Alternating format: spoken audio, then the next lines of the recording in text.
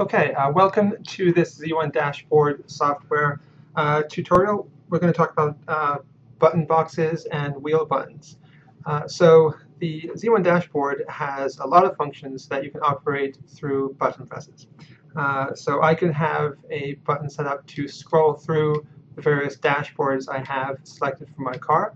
Uh, I can have a button selected to turn telemetry on and off and I can have buttons to uh, perform a lot of other functions, uh, such as uh, resetting a delta or changing a delta type.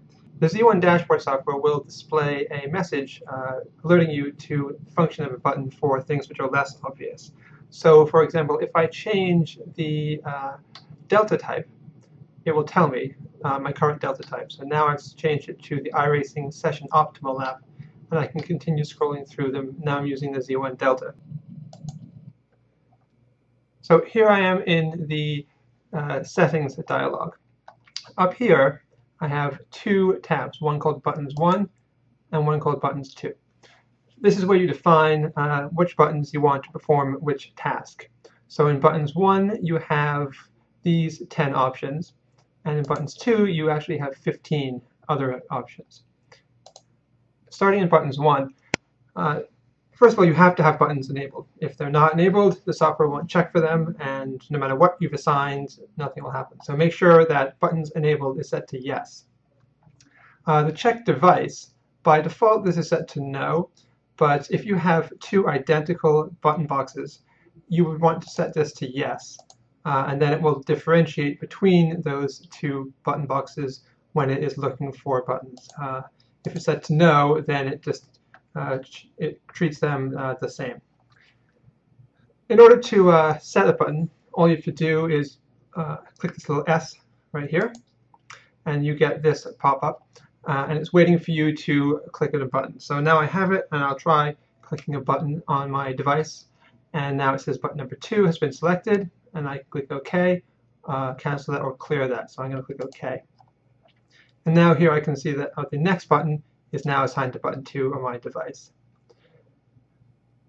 If I go to the buttons 2 dialog, uh, you can go directly to uh, any one of the 10 screens by choosing uh, a button, or uh, a POV uh, switch will work as well.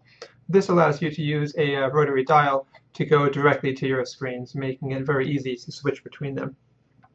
And then for iRacing, they have a couple of iRacing specific options with adding and removing fuel, putting fuel to the end of the race in, uh, clearing tires, and uh, fast repair uh, during your pit stop. Alright, so if you go back to the buttons 1 box, there are a couple of options here on the right. Starting with the top one, message time. Uh, if the dashboard software is going to alert you to an action of a button uh, taken, then it will display that for this amount of time. So by default, it's two and a half seconds.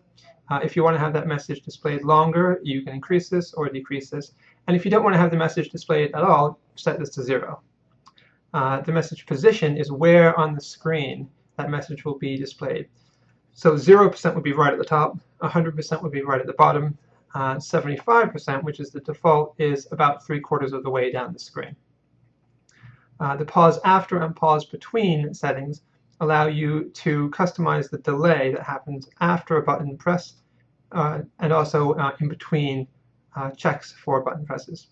Uh, so if you find that uh, certain buttons are being repeated too quickly or that um, the, they're not being repeated quickly enough, you can adjust these settings to suit your particular button box. And there you have it. Once you click OK, your changes will take effect. Uh, the one exception is the buttons enabled. If you do change this to no or to yes, you will need to restart the dashboard software for that to take effect. Uh, I hope you found this useful. Uh, please subscribe to our YouTube channel for more videos.